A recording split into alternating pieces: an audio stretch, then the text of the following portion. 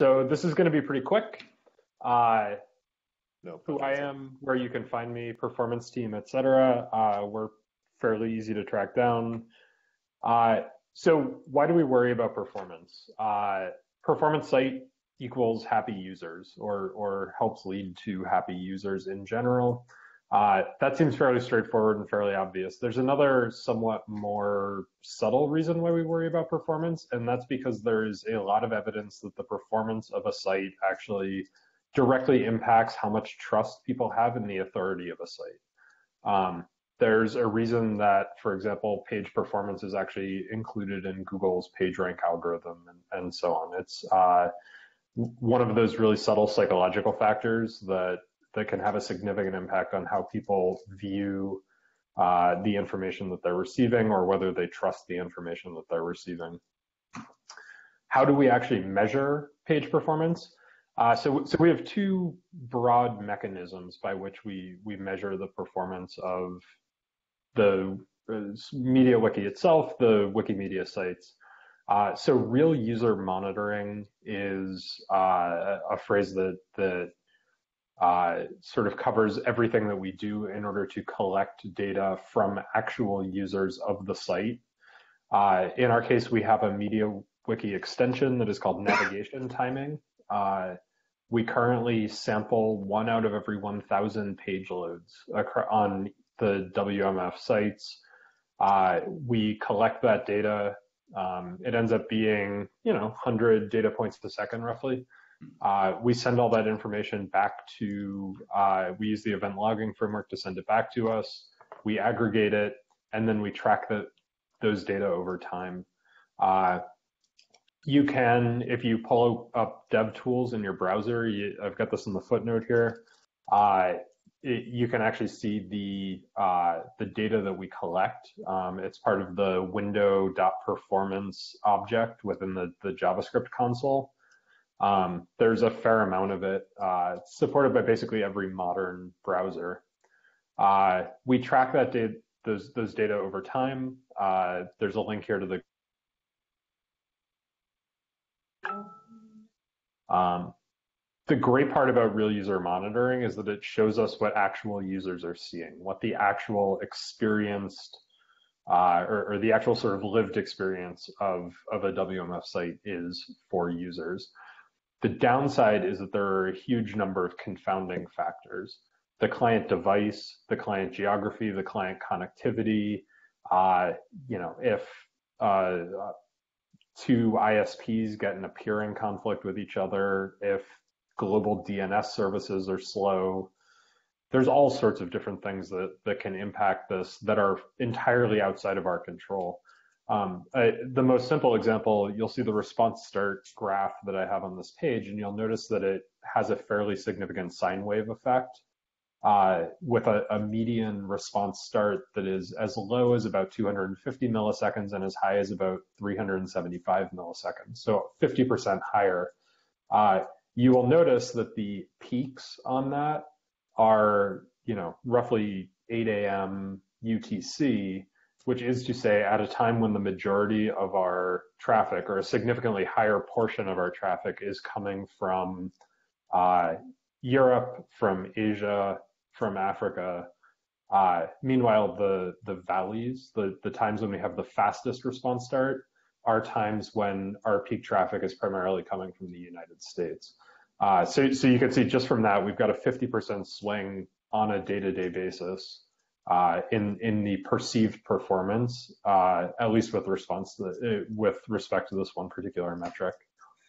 The other type of monitoring that we use is something called synthetic monitoring, this is where we actually have a, a tightly controlled environment. We take the same measurement over and over and over again, and we can track the, the changes in that measurement over time. Uh, there's a, an application called Web Page Test, which is the primary thing that we use to do this. Uh, it actually allows you to record page loads, repeated page loads. So we might be loading, you know, for example, the Barack Obama page is one that we that we use as a as a sample. Um, excuse me. So we will load that 10 times in a row, take the average of those page loads, and use that as the sample for that minute or that that 10 minute period. Um, this allows us to identify regressions or improvements uh, to our code because the variability of those other external factors is much lower. We don't, we factor out things like network variations. We factor out things like resource competition on the client device and so on and so forth. And we can do a lot of work because we actually control the environment that we're taking the, the measurement from. We can actually do a lot to uh, to eliminate even more of those factors. Um, we end up actually having a, a, a variance of like one to two percent uh, in in page load time, which is actually an incredibly incredibly tight uh, sort of level of sample error. Uh, the the con of synthetic monitoring is that it doesn't give us a, a quote unquote real measure of performance. It's telling us what uh, it's something that we can compare uh, over time, but we cannot compare externally. We don't we don't really know. We can't say that because synthetic monitoring has gotten five percent longer, that doesn't necessarily correspond to page loads taking five percent longer in the real world.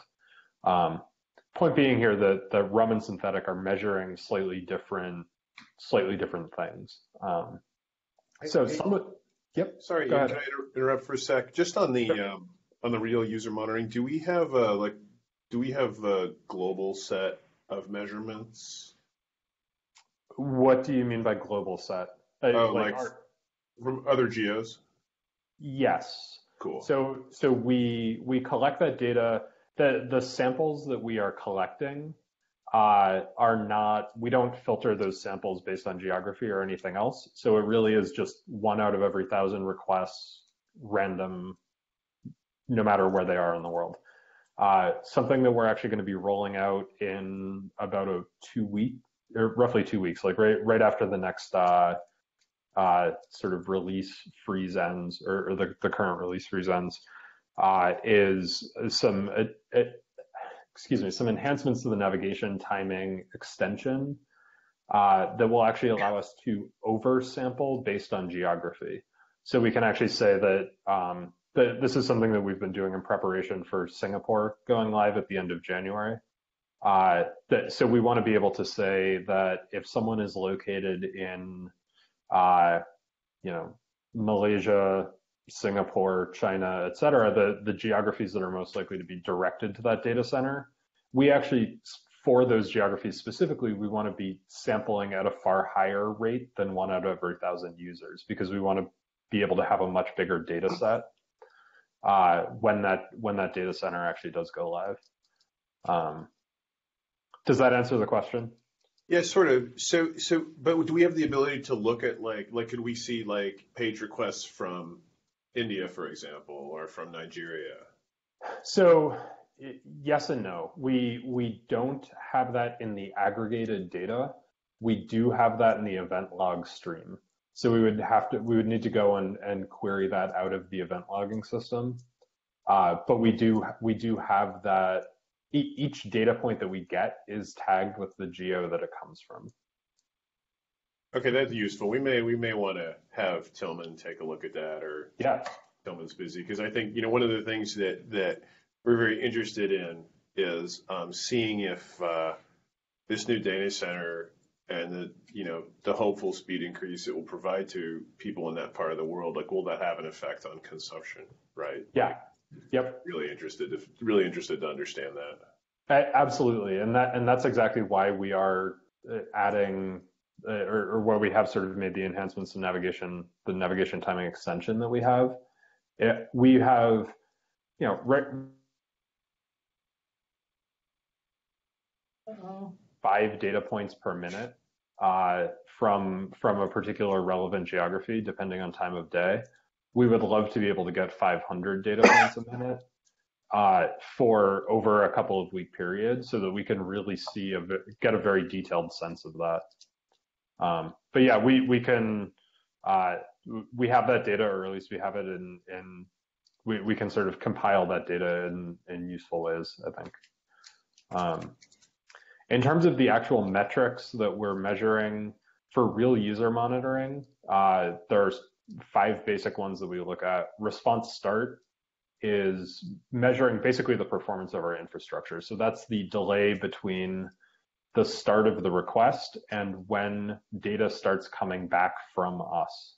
Uh, DOM interactive is the time that the HTML that it takes to actually parse the HTML page and create the initial document object model.